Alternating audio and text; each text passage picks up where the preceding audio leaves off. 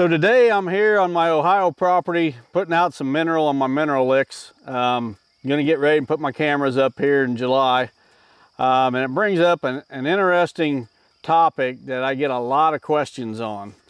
Um, I can't tell you in the course of a year how many people email me pictures or send me a private message on social media pictures of bucks that, that uh, they've got on their trail cameras and they want me to age that buck.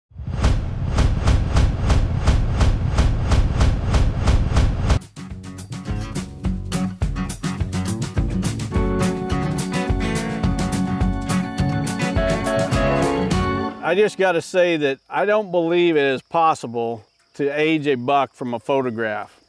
Now, sure, you can tell yearling bucks and you can generally tell two-year-old bucks, but once a buck gets three years old, unless you really have history of that buck, watched him grow up from the time he was two or so, it's really impossible to say. And I know there's going to be guys argue with me about this, but I want to throw out the this interesting angle uh, that supports my position. You know, I raised captive deer for 25 years. And in that, cap, in that time, I probably had over 200 captive bucks that I took care of on a daily basis, all the way from the time they were fawns till they were four or five years old. And I would have visitors at my farm and I would ask them how old they thought a certain buck was. And I guarantee you, most of the time, people got the guess wrong. And that's looking at a live animal, not a photograph. Photographs can be really deceiving. They typically make a buck look bigger than he really is or smaller than he really is. And just based on my experience with the captive deer and also bucks that I've watched grow up, if you see me, whether it be in a magazine article, a video, a seminar, whatever, if you see me give the age of a buck, then I've got history with that deer to, to back up that age and why I think he's that age. But just to take a random picture of a buck that's three and a half and older and say he's four and a half or he's five and a half, totally impossible. I guarantee it, I'd put money on it. I'm confident of it. You cannot age bucks from photographs. So we've all heard those experts say that you gotta look at a buck's back and see if he's got a sway back or he's got, if he's deep chested or his belly sags or some, some guys will say you look at their neck, how full their neck is, and I'm here to tell you every bit of that is pure garbage, garbage. And let me give you a good analogy here to compare. Bucks are very individual, just like human beings are very individual. We all know that kid that in the eighth grade was just hairy as an ape and basically was a, a man in a, or a kid in a man's body. And then we know the guy in our class that uh, when we graduated, he was a little runt but when we come back for our 10 year reunion, he's one of the biggest guys there. And just as humans or men mature at different rates, so do bucks. And I've seen it with the captive deer and I've also seen it with wild deer that I've tracked. You just absolutely cannot age a buck that's three and a half and older through a picture.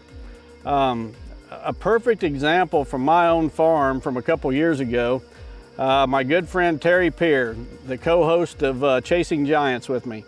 Terry shot a buck on my farm that uh, I would have swore was a three and a half year old. And one thing Terry does is he always sends in the teeth from his deer to, to get them aged to know exactly how old they are. And uh, Terry sent the teeth in off that buck I thought was three and a half. That buck ended up being five and a half.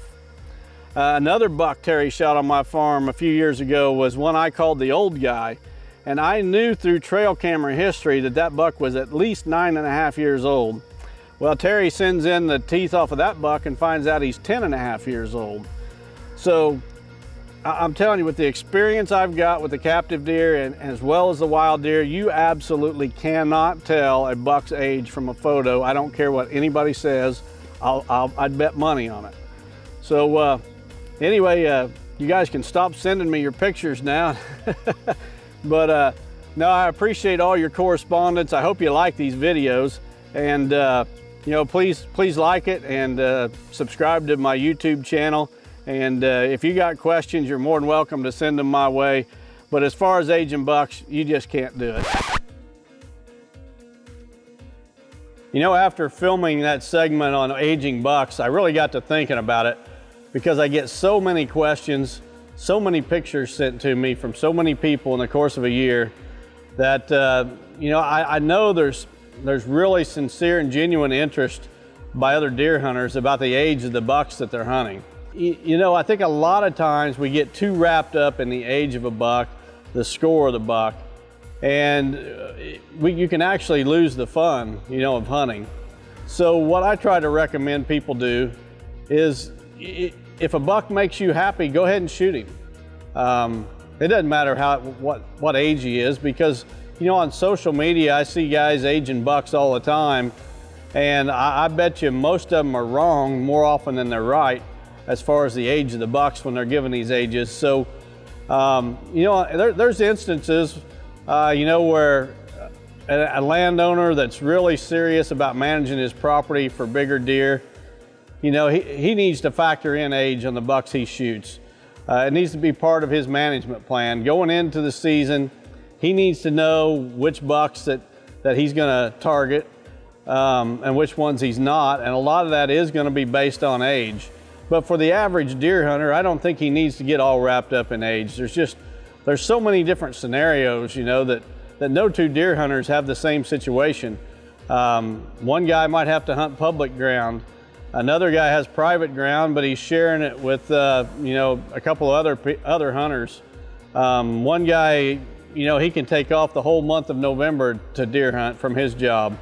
Uh, another guy, he may only be able to take off, he, he may only get one, one day a week to hunt. Maybe Sundays is his only day off and that's the only day of the week he can hunt. You know, so each situation is different. Right. And I think sometimes we put too much pressure on ourselves to follow the trend in the industry or the, the deer hunting community um, when we ought to just keep the fun in it. Um, so don't get so wrapped up in age. If you're, if you're one of those hunters that doesn't have a, a property that you're really trying to micromanage for the biggest bucks possible, if a buck makes you happy, go ahead and shoot him. I almost started bawling coming up here.